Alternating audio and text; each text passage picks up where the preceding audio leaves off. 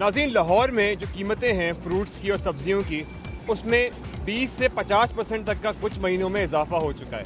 अब चलते हैं मुल्तान। फ़ाद हमारे साथ होंगे और फ़ाद से पूछते हैं कि मुल्तान में क्या कैफियत है। फ़ाद ओवर टू यू जी अनीस इस टाइम हम मौजूद हैं मुमताज़ाबाद के अंदर, जो मुल्तान का एक बड़ा मशहूर बाज़ार है, जहाँ पर जो है रमज़ान से पहले हम देख रहे हैं कि चीज़ों की, अशिया खुरदोनोश और अशिया सर्फ की कीमतों में मुसलसल इजाफा देखने में आ रहा है। इस टाइम भी हम बाज़ार के अंदर जो है वो एक सर्वे कर रहे हैं और लोगों से बातचीत कर रहे हैं, दुकानदारों से, कि वो हमें ये बताएँ कि रमज़ान से पहले जो अशिया खुरदोनोश है इनकी कीमतों में इजाफा क्यों देखने में आ रहा है। हमारे पीछे एक मौजूद है फ्रूट वाले, हम इनसे बात करते हैं कि रमज़ान से पहले जो है फ्रूट की कीमतों में वो इजाफा क्यों हो जाता है।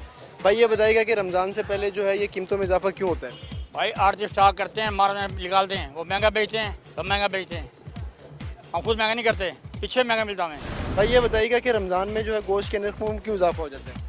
भाई वो इसलिए होता है कि पीछे से माल जो मिलता है वो महँगा मिलता है पीछे से इसलिए हम मजबूर हैं। रमज़ान की आमद से कबल मुर्गी का गोश्त एक सौ अस्सी रुपये फ़ी किलो छोटा गोश्त दो सौ तीस रुपये फ़ी किलो और बड़ा गोश्त दो सौ रुपये फ़ी किलो के हिसाब से फ़रोख्त हो रहा है। रमज़ान के बाबरकत महीने के शुरू होने से पहले ही मुख्तलिफ़ दालों की कीमतों में बीस से तीस रुपये मसाला जात की कीमतों में पंद्रह से बीस रुपये तक का इजाफा कर दिया गया है।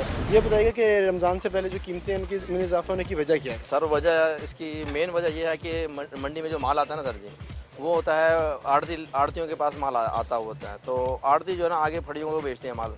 वो फड़िए क्योंकि डिमांड ज़्यादा होती है रोज़ों में हर ज़रूरतमंद की चीज़ है सब्ज़ी और फ्रूट ख़रीदना उन्होंने हर चीज़ के लिए इस्तेमाल किया जाता है। तो इसके लिए जो है ना वो हर फड़ियों को वो लोग जो ना फिर महँगा देते हैं।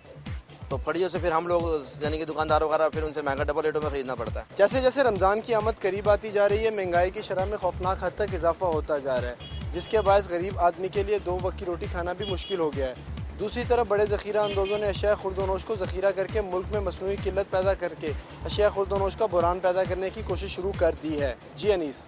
नाजीन कहते हैं आम फलों का बादशाह है जो कीमतें हैं उसकी वजह से ये फल अब बादशाह ही खा सकते हैं। कुछ लोग यहाँ शॉपिंग कर रहे हैं आइए उनसे बात करते हैं। अस्सलाम वालेकुम। आपने क्या खरीदा है? मैंने आम लिए हैं जी। कौन से आम लिए? चौंसा। क्या हिसाब लगे? साठ रुपए किलो। पहले कितने होते थे? पहले तीस रुपए पच्चीस रुपए पैंतीस रुपए किलो होते थे। पहले तो दो तीन किलो लेके जाते थे अभी आधा किलो लिए तीस रुपए के मिले महँगाई इतनी है जेब ज़्यादा नहीं देती। मजदूर आदमी है दो तीन सौ रुपये रोज़गार कमाते हैं। अच्छा अभी तो रमज़ान आने वाले रमज़ान में आपके ख्याल से क्या होगा? रमज़ान से भी इससे ज़्यादा महँगाई होगी रमज़ान में भी। मंडी कोई जाता नहीं है। पहले 200 की ढाई सौ रुपये की पेटी थी अब 600 सौ रुपये की पेटी है पाँच सौ रुपये की पेटी है। उधर जाके कोई पूछता ही नहीं है। वो अपनी मर्ज़ी के दाम लगाते हैं। छोटे दुकानदारों को आके ये तंग करेंगे रमज़ान में आगे बड़ी मेहरबानी आपकी। नाजीन इनका ये कहना है कि पहले ये दो तीन किलो आम लिया करते थे। अब सिर्फ़ आधा किलो आम लेने काबिल हैं और रमज़ान में पता नहीं क्या होगा। ये भी खरीद सकेंगे या नहीं? अस्सलाम वालेकुम। सलाम जी। आपका नाम क्या है? शहजाद। शहजाद कितने अर्से से काम कर रहे हैं? तो छः साल हो गए हम। अब इतनी महँगाई क्यों है? महँगाई पीछे से हो रही हम क्या करें? हम तो जाते हैं तो उधर जब एक दिन मैं लेके आते चार सौ की तो अगले दिन पाँच सौ की हुई होती है पेटी। हम क्या ये क्या मंडी में महँगी होती है? मंडी महँगी होती है। मंडी वाले क्या कहते हैं? मंडी वाले कुछ नहीं वो बोली लगाते हैं। अब वो बोली शुरू करती है बोलने वाले छोड़ते नहीं एक एक बोलता है कि मुझे मिल जाए दूसरा बोलता है तीसरा बोलता है इस तरह बोली जाती है। और महँगी होती चीज़। हो जाती है। अब क्या आपको क्या लग रहा है रमज़ान में क्या होगा? रमज़ान में इससे ज़्यादा तेज़ी होगी क्योंकि पता नहीं किधर किधर से दुनिया आती है। गाहक आता है गाहक तो आता ही रहता है अल्लाह का शुक्र है। आता अच्छा बाबा जी मौजूद हैं आपके पास काम कर। बाबा जी आपका क्या ख्याल है इतनी महँगाई क्यों हो रही है? ये महँगाई का ये यही हाल है ये सरमाएदार लोग हैं ये माल स्टॉक कर लेते हैं मंडी वाले। और मार्केटों वाले वो सौदा इसलिए महँगा हो जाता है। ये ठीक कह रहे हैं कि मंडी वाले करते हैं सारी? बेशक बिल्कुल ये सही कह रहे हैं। इन्होंने की कमाई कितनी होगी? दो रुपए चार रुपए पाँच रुपए। मंडी वाले एक पेटी के पीछे पचास पचास सौ सौ रुपया कमाते हैं। वो स्टॉक कर लेते हैं। माल थोड़ा बेचते हैं ज़्यादा खरीदने वाले होते हैं इसलिए महँगा बिक जाता है। तो क्या करें? मंडी वालों को कंट्रोल करना चाहिए वाले पर कंट्रोल करना है इन दुकानदारों का क्या कसूर है? इन दुकानदारों का कोई कसूर नहीं है। बड़ी मेहरबानी। नाजी इनका ये कहना है कि कसूर जो है वो रिटेल वालों का नहीं है होल सेल वालों का है। ये एक पॉइंट ऑफ़ व्यू जो सामने आया है यहाँ पर।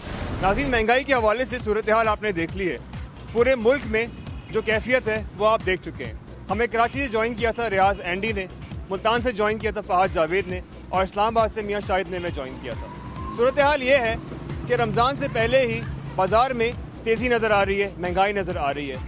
अगर इसे कंट्रोल ना किया गया तो रमज़ान में आवाम के लिए सांस लेना भी दुशवार हो जाएगा। अनीश शेख को इजाज़त दीजिए। अल्लाह हाफ़